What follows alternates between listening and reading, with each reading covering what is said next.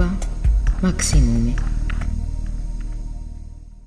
მოგესალმებით ეს თაობა მაქსიმუმია გადაცემა მე კი მისი წამყვანი ლუბა გიორგაძე გახლავართ დღევანდელი ჩვენი გადაცემის სტუმრები არიან ახალგაზრდები, რომლებიც პროფესიული სასწავლებლებისათვის გამართული ინოვაციური იდეების კონკურსში, ჰაკათონში ხუთ საუკეთესო გუნდს შორის მოხვდნენ. ეს კონკურსი განათლების სამინისტროს მიერ პირველად ჩატარდა წელს და სწორედ ჩვენი სტუმრები თავიანთი იდეების, მათი მნიშვნელობისა და წარმატების შესახებ გვიამბობენ. ეს გოგონები კი არიან მარიამ სააკიანი და ნატალია კაპანაძე. მოგესალმებით გოგოებო, მადლობა გადაცემაში მონაწილეობისათვის. პირველ რიგში მოგილოცავთ ხუთ საუკეთესო გუნდს შორის მოხვედრას თქვენი იდეებით და ძალიან კარგი იქნება და საინტერესოა ჩვენს მსმენელსა და მაყურებელს უკვე მოუყვეთ დეტალურად ამ კონკურსების, კონკურსის თქვენი იდეებისა და თქვენი წარმატების შესახებ. პირველ რიგში კონკურსის შესახებ რომ გითხრათ გოგოებო, საიდან შეიტყვეთ მის შესახებ და რატომ გაგიჩნდათ სურვილი რომ მიგიღოთ მონაწილეობა მარიამ? შენგან დავიწყოთ. მოგესალმებით. პროფესიული განათლების ჰაკათონი წელს პირველად გამართა, რითაც საშუალება მიეცათ პროფესიულ სტუდენტებს მოახდინა თავიანთი ინოვაციური იდეების დემონსტრაცია და მათი პროტოტიპების შექმნა. ეს კონკურსი აიმართა მეცნიერების და განათლების სამინისტროს და ასევე ინოვაციებისა და ტექნოლოგიების განვითარების სააგენტოს მხარდაჭერით. და თქვენ რატომ გაგიჩნდათ იდეა საიდან გაგიჩნდათ ამ კონკურსის შესახებ ჩვენ შევიტყვეთ კოლეჯიდან კოლეჯში მოვიდა ესეთი განაცხადი და თავიდანვე დაგვაინტერესა. პირველ რიგში იმიტომ რომ ის იყო ინოვაციური საინტერესო და ჩვენთვის ახალი. და შევკრიბეთ გუნდები და ჩავერთეთ ამ კონკურსში ანუ თქვენც ასევე თქვენმა გუნდმა სხვადასხვა გუნდის წარმომადგენლები ხართ აქ თქვენც ასევე. კი პროფესიულ სასწავლებელში გავიგეთ ამის შესახებ და დავით დავით ჯანიშვილთან ერთად ჩვენ მერტორთან ერთად დავიწყეთ მუშაობა უკვე იდეებზე ორივე როგორც უკვე აღნიშნეთ სხვადასხვა გუნდიდან ხართ, რომელიც სხვადასხვა იდეები გქონდათ და ამ იდეების ავტორები ხართ, აი რა იდეები არის ახლა უკვე თქვენს თქვენი იდეების შესახებ რო გითხრათ, ნატალი, ამჯერად შენგან დავიწყოთ. ჩვენ გვაქვს წარმოდგენილი მცენარეთა მინის საშრობი, ანუ სამკურნალო მცენარეთა საშრობი, რომელსაც ეკოდრაიერი დავარქოთ პირობითად. ეს ახდენს სამკურნალო მცენარეების შრობას, ვინაიდან დღეს ძალიან პოპულარულია უკვე ეკოლოგიურად სუბთანედლეულის მიღება. გსურდა რომ ქიმიური პრეპარატების მაგრად მიგვიღო ეკოლოგიურად სუფთა ნედლეულისგან დამზადებული პრეპარატები და ამ ეკოდრაიერს გამოყენება ექნება როგორც ოჯახებში, ასევე კერძო აფთიაქებში და სასწავლო დაწესებულებებში პრაქტიკის სახით. ძალიან კარგი. რა შეეხება თქვენს იდეას, მარია? ჩვენი იდეა იყო სამაჯური, რომელიც დაეხმარებოდა უსინათლო ადამიანს გადაადგილებაში კონკრეტული შენობის ფარგლებში. ძალიან კარგი. და როგორ მუშაობს ანუ ეს დეტალები რომ გვითხრათ? ანუ როგორ დაეხმარება გადაადგილებაში? ანუ მომხმარებელს, ანუ ეს მოწყობილობა შედგება რამდენიმე ნაწილისგან. მომხმარებელს ექნება სამაჯურის სახით ხელზე დამაგრებული და ასევე ულტრაბგერითი გამავრცელებელი, რომელიც იქნება დამონტაჟებული შენობაში. და ამის მიხედვით სამაჯური შეატყობინებს მომხმარებელს დაშორდა თუ თუ მიუახლოვდა მიზანს და შეტყობინების სიგნალი იქნება ვიბრაცია. ანუ ეს შეტყობინების სიგნალი თუ სწორედ მივხვდი, განლაგებული იქნება იქ, სადაც უნდა გადაადგილდეს, ხო ეს პიროვნება? ხო, იმ კონკრეტულ შენობაში. ძალიან კარგი. რაც შეეხება ჯგუფებს, თქვენ ჯგუფები როგორ დაკომპლექტით თავიდან და აი თავიდან როგორ მოგივიდათ იდეა, საიდან გაგიჩნდათ ეს იდეა, რომ თუნდაც გაგეკეთებინათ ეს სამკურნალო მცენარეების საშრობი ჯგუფში რამდენი იყავით და ანუ ეს ეს ყველაფერი როგორ მოხდა? ვინაიდან ჩვენ ვსწავლობთ სამკურნალო მცენარეთა დამამზადებელზე, აქედან გამომდინარე მეტი ვიცით მცენარეებზე და ანუ აქედან მივიღეთ, აქედან მოგვინდა ამის აკეთება საშრობის, ხოლო მივხვდით რომ ჩვენ არ ყავდა ტექნიკო, ანუ ტექნიკოსი ტექნიკურ მხარეს ვერ გაუძღვებოდით მარტო და ელექტრიკოსებიდან დავიმატეთ ჯგუფში დავით მსხვილიძე და ლაშა ხუთიშვილი, რომლებიც დაგვეხმარენ ელექტრული, ანუ ელექტროობის გამართვაში კი, ტექნიკურ მხარეში. მოგცეთ ასე. კი. თქვენ შემთხვევაში როგორ იყო მარია? ჩვენი გუნდის წევრები არიან, ანუ ერთ ფაკულტეტზე ვსწავლობთ ყველანი და ვართ ერთი ასაკის. და ამ ეს იდეა ჩვენ გაგვიჩნდა იქიდან რომ ან გვინდოდა პირველ რიგში ყოფილიყო დაკავშირებული საზოგადოებასთან და კონკრეტულად შეზღუდული შესაძლებლობების მქონე პირებთან. ბევრი ვიფიქრეთ და საბოლოოდ მივედით იმ დასკვნამდე, რომ სამაჯური იქნებოდა რეალურად უფრო შესაძლებელი განსახორციელებლად, ვიდრე სხვა მოწყობილობა და შევჩერდით ამ არჩევანს. საინტერესო გოგოებო, აქამდე მსგავსი მოწყობილობები რაც თქვენ გააკეთეთ, თუ გინახავთ თუ არის ვინმეს გაუკეთებიათ, ეს პირველი არის რაც თქვენ გააკეთეთ და ასე ვთქვათ, გამოგონება ახალია. ვინაიდან ეს იყო ინოვაციების ანუ შეჯიბრი ტური უნდა ყოფილიყო ისეთი რაც აქამდე არ ყოფილა და ანუ ესეთი ანგარი არ არის. კონკურსის პრინციპიც ასეთი იყო, ხო? ძალიან კარგი. რა დრო დაგჭირდათ ამ ასე ვთქვათ მოწყობილობების პროცესში კონკურსის მიხედვითაც რა დრო გქონდათ გამოყოფილი ამისთვის და თქვენთვის რამდენად რთული იყო ეს მუშაობის პროცესი? მუშაობისთვის ჩვენ მქონდა მხოლოდ 3 კვირა, როდესაც კონკურსის პირველი ეტაპი ჩატარდა და შეარჩიეს 14 გუნდი, შემდეგ ფინალისტვის მქონდა 14 გუნდი მონაწილეობდა საქართველოს. თავიდან მონაწილეობდა 37. შემდეგ ფინალში გადავიდა მხოლოდ 14 გუნდი, რომელსაც უნდა წარადგინა თავისი იდეის პროტოტიპი. ჩვენ მქონდა მხოლოდ 3 კვირა ამისთვის და ამ 3 კვირაში მოახერხეთ და გავაკეთეთ შეძლების დაგვარად მუშა და კარგი პროტოტიპი. სირთულები არ არ არ ახდა ამ სირთულები კი ნამდვილად იყო. მე სირთულები მაგალითად რა პროგრამირების მხარე იყო ჩვენთან თავარი ჩვენს პროდუქტში.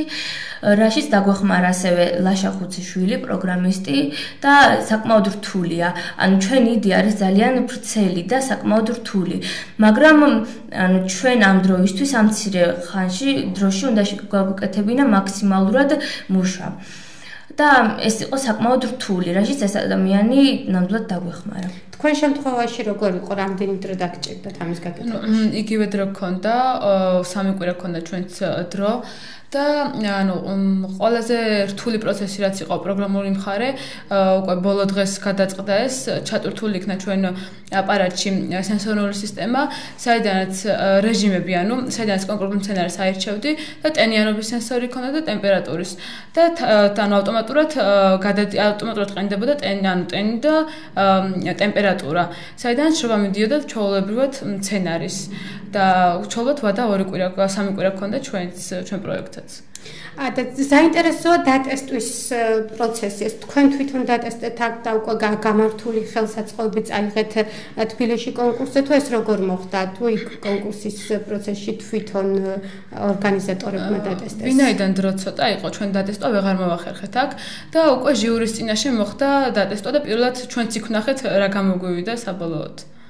აუცილებლად უნდა გკითხოთ იმ დანადგარებზე ხელსაწყოებზე, რითაც გააკეთეთ ეს ხელსაწყოები, მასალა გჭირდებოდათ. საიდან საიდან შეიძინეთ ვინ დაგეხმარათ ამაში, რომ ეს ასე ვთქვათ, ეს დანადგარები ხელსაწყოები შეგექმნათ საბოლოოდ? ამ პროექტის ფარგლებში ჩვენ აუცილებლად უნდა გამოგვეყენებინა ჩვენ კოლეჯში არსებული ფაბლები, ანუ თანამედროვე ტექნოლოგიების მინი ლაბორატორია. მასალებს რაც შეეხება კოლეჯმა დააფინანსა და მოგვაწყვეტა ეს ყველაფერი, რაც გჭირდებოდა. უშუალოდ ახლა კონკურსის დეტალებზე გადავიდეთ. ჩვენ ძალიან მოკლედ ვთქვით წეგან რომ რა გამართა ეტაპებად ეს კონკურსი და შესაბამისად მონაწილეებიც ამის მიხედვით იყვნენ 80 მონაწილე ყავდა თავდაპირველად, ხო? თუ 27 27 მონაწილე და ბოლოს 14 და ამ კონკურსის დეტალები რო გითხრათ ეტაპების მიხედვით, როგორ იყო, როგორ გამithარდა მოვლენები, რა რა პრინციპით შეარჩიეს მონაწილეები, რა პრინციპით შეგარჩიეთ თქვენ და მოკლედ ზოგადად ფინალი როგორი იყო? ამაზეც რო გითხრათ მარიამ შენგან დავიწყო კონკურსის პირველი ეტაპი იყო 1 და 2 აპრილს. ამ დღეებში ჩვენ ჩვენი იდეები გავაცანით მენტორებს, რის შემდეგაც მომზადეთ პრეზენტაცია, მათგან მივიღეთ რჩევები, შევიტანეთ ცვლილებები ტექნიკურადაც და დიზაინის მხრივაც. შემდეგ მოვამზადეთ პრეზენტაცია და წარვდექით ჟიურის წინაშე. რის შემდეგაც ჟიურიმ შეარჩია 14 საუკეთესო იდეა. ჟიური ვინ იყო? ვინ არჩევდნენ ამ იდეას? ვინაიდან ეს პროექტი ჩატარდა ტექნოპარკში, იქ იყვნენ ტექნოპარკის პროგრამისტები და ამ სფეროში გამოცდილი ხალხი. ჟიურის წევრები. ძალიან კარგი. ბოლოს უკვე ფინალი ფინალში ვინ შეარჩია რა რა სახის ღონისძიება მოეწყო და როგორ ასე ვთქვათ როგორ მოგიწიათ თქვენ თქვენი იდეების წარმოჩენა საბოლოოდ. ფინალში იყო ესე ვთქვათ გამოფენა ჩვენი პროდუქტის და ჟიურის წევრები მოდიოდნენ და გვეკითხებოდნენ და ჩვენ შეიძლება დაგარჩენით პასუხს რა გავაკეთეთ და საბოლოოდ რა სახე ქონდა ჩვენს პროტოტიპს. პროფე რა პროფესიის ადამიანები იყვნენ ჟიურის წევრები შეგიძლიათ მითხრათ? ა ჩვენ კონკრეტულად არ ვიცით ეს რა ძალიან კარგი. ძალიან კარგი არა კარგი. ნატალი შენ რომ გითხრა ძალიან საინტერესო იქნება. თვითონ როგორც უკვე აღნიშნეთ თავდაპირველად 37 მონაწილე იყო და 37-დან ბოლოს 4 და 14 დარჩა. ამ 14 მონაწილე რამდენად ძლიერი კონკურენტები გყავდათ არა არ გაგიჭირდათ კონკურენციის გაწევა? კონკურენცია ნამდვილად მაღალი იყო. არც მოველოდით გამარჯვებას ანუ იმდენად კარგი პროექტები იყო წარდგენილი თუმცა როგორც ჩანს ჩვენ გავხდით აგრარული ანუ ფერმერთა ასოციაციის ფერმერთა ასოციაციის სიმპათიები გავხდით მესამე ადგილზე გავედით და 1000 ლარი დაგვაჯილდოვეს ანუ კონკურენცია საკმაოდ მაღალი იყო გუნდებს შორის. და ღირსე ღირსეულად გავედით მე ვფიქრობ მესამე ადგილზე მსგავსი მოწყობილობები ჰქონდა ვინმეს რომელიმე პროფესიულ სასწავლებელს, აი როგორც მაგალითად თქვენი სცენარეების, სამკურნალო სცენარეების საშუალებით, აბსოლუტურად ყველა ერთმანეთისგან განსხვავებული, ასე ვთქვათ, მოწყობილობა იყო. სხვადასხვა არა, ანუ ყველა იყო ძალიან განსხვავებული ერთმანეთისგან, იდენტური არც ერთი არ იყო. ან მიახლოებულც არ ქონდათ ერთმანეთთან არც ერთს. ანუ კონკურსის ფინალში, ასე ვთქვათ, პირველ, მეორე, მესამე ადგილზე გამარჯვებულები არ ყოფილან, ხო? კომპანიების ფავორიტები გახდით, ასე ვთქვათ, როგორც ნატალი მას აღნიშნა. იყო ერთი, ასე ვთქვათ, ჟიურის საერთო რჩეული, რომელსაც გადაასწრეს 2000 ლარი და დანარჩენი იყო კომპანიის სხვადასხვა ხარდამჭერი კომპანიის სიმპათიით. დანარჩენი სულ ხუთი ჯგუფი დაჯილდოვდა, ხო? ხუთი საუკეთესო ჯგუფი შეირჩა, როგორც აღნიშნეთ. თქვენ რომელი კომპანიის სიმპათია გახდით, მარია? ჩვენი ჩვენ გავხდით ენერგოპრო ჯორჯიას ფავორიტი გუნდი, ასე რომ ვთქვათ. და გადმოგცა 1500 ლარი საჩუქრად. ეს თანხა იყო ერთჯერადი, ხო? ანუ შემდგომში თუ გაგრძელდება თქვენი, ასე ვთქვათ, ურთიერთობა. ამ პროექტის ფარგლებში ეს ყველაფერი იყო ერთჯერადი, თუმცა მომავალში შეიძლება იყოს მსგავსი რამე პროექტი.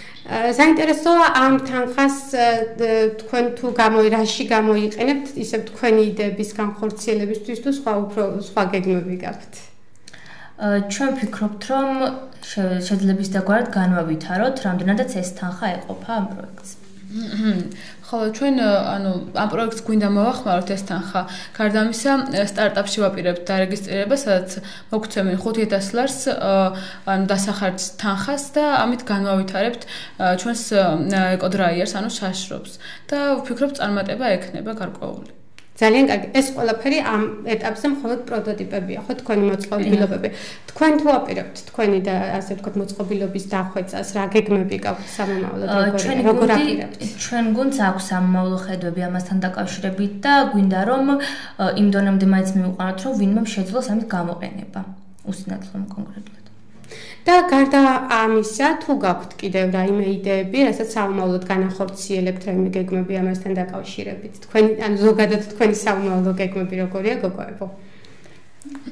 იდეები, ან ზოგადად ჯერ ამ ამ იდეაზე ვმუშაობთ და სხვა სხვა იდეა, სხვა იდეა ჯერ არ გვაქვს, ანუ არაფერზე არ ვფიქრობთ სხვაზე, გვინდა რომ ეს განვავითაროთ. ძალიან კარგი. და საინტერესო ზოგადად თუ ფიქრობთ გარდა ამ ყველაფრისა, რომელიმე თუნდაც არასამთავრობო ორგანიზაციებთან, თუნდაც თქვენ მარიამ თანამშრომლობას, რომ აი თქვენს გამოგონებას, თქვენს მოწყობილობას უფრო მეტი პოპულარიზაცია გაუწიოთ. ჩვენ ჯერჯერობით არ გქონია ასე ვთქვათ გამოხმაურება ამასთან დაკავშირებით, მაგრამ თუ იქნება ამის შესაძლებლობა, მოხარულები ვიქნებით, რომ გავაკეთოთ ეს პროექტი. ძალიან კარგი. ჩვენ საერთოდ დრო უკვე იწურება გოგოებო და ბოლო კითხვას დაგისვამთ კონკურსთან დაკავშირებით. გარდა თქვენი ორი იდეისა, თუ იყო კოლეჯ პროფესიულ კოლეჯობიზარს თუ ჰქონდა სხვა იდეები, სამცხე-ჯავახეთიდან თქვენ იღებდით მხოლოდ მონაწილეობას, ხო? თქვენი თქვენი სასწავლებელი იყო და მონაწილეობას და სასწავლებლიდან სხვა იდეებიც თუ იყო კიდე. კიდე იყო ერთი ჯგუფი, წარდგენილი, რომელსაც ჰქონდა სასუქის აპარატი, რომელიც პირველ ეტაპ ეტაპზე გავიდნენ პირველ ადგილზე, პირველ ტურში, ხოლო შემდეგ ანუ დროში ვერ ჩაეტნი, ჩაეტიან და ამის გამო საპირისპირო ადგილი ვერ დაიკავ. ვერ დაიკავეს. ანუ დროში ვერ ჩაეტივნენ რას გულისხმობთ? სრულად არ იყო დამზადებული მოწყობილობა. ხო, იმ დროში სამკვირიან ვადაში, რაც დაწესებული იყო კონკურსის ფარგლებში. კარგი, დიდი მადლობა. მე წარმატებას გისურვებთ, იმედი მაქვს, რომ თქვენ უფრო მე თქვენს გეგმებს აუცილებლად განახორციელებთ და მე დახვეწავთ გამოგონებებს და მე პოპულარიზაციას გაუწევთ. მე წარმატებებს გისურვებთ და ჩვენს მსმენელსა და მაყურებელს შევახსენებ, რომ პროფესიულ სასწავლებლის კოლეჯ ოპიზარის სტუდენტები იყვნენ დღევანდელი ჩვენი გადაცემის სტუმრები მარიამ სააკიანი და ნატალია კაპანაძე. ეს ეს გოგონები ჯგუფების წევრები არიან, რომლებმაც განათლების სამინისტროს მიერ განათლების სამინისტროს ინიციატივით გამართულ კონკურსში ჰაკათონში გამარჯვეს და ხუთ საუკეთესო გუნდს შორის მოხვდნენ ისინი. მე წარმატებებს უსურვებ გოგონებს. თქვენ კი საუკეთესო სურვილებით დაგემშვიდობებით და გეტყვით, რომ ჩვენი გადაცემის ვიდეო ვერსიის ნახვა შეგიძლიათ სამხრეთის კარიბჭის ვებგვერდზე SK News-ში ჩვენ მომავალ კვირაში ახალი თემით, ახალი სტუმრებით შევხვდებით ერთმანეთს. ნახვამდის.